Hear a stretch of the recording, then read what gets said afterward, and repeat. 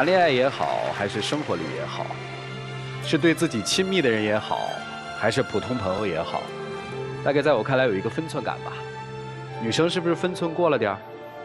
情感再好，也不能合成一个人，这是生活的真理和本质。如果你们老想着你就一定是我，你要变成那个我想要的我，那就算了吧。怎么可能二合一呢？以后再谈恋爱的时候啊。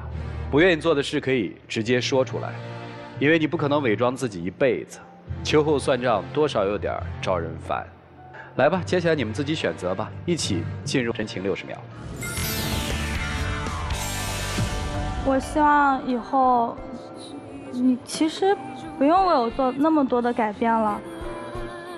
我可能会好好的想想我自己的错误，是不是我太过于强求你了？我可能会控制一下我自己的情绪，不再那么的强势去要求你。其实我们在一起一年多了，也时间也挺久的了。你平时跟我说的那些事，我觉得就是男女谈恋爱的时候，就是男方确实应该迁就一下女方。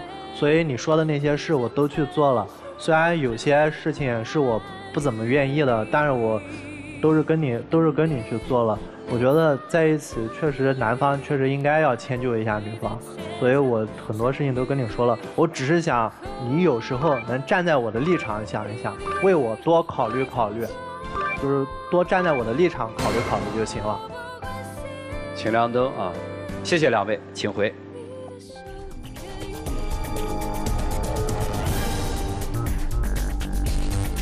来，请关门。欢迎大家登录优酷网、腾讯视频、搜狐视频、爱奇艺、乐视视频、PPTV 聚力收看节目的完整视频。来吧，我们看看他们自己的选择，请开门。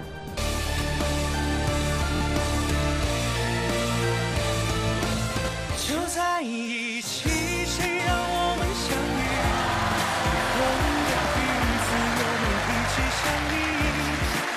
会宠着你，我会纵容你，谁要欺负你？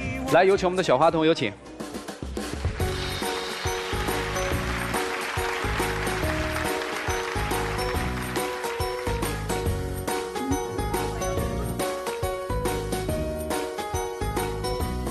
来吧，我们见证属于这对恋人浪漫时刻，各位请见证。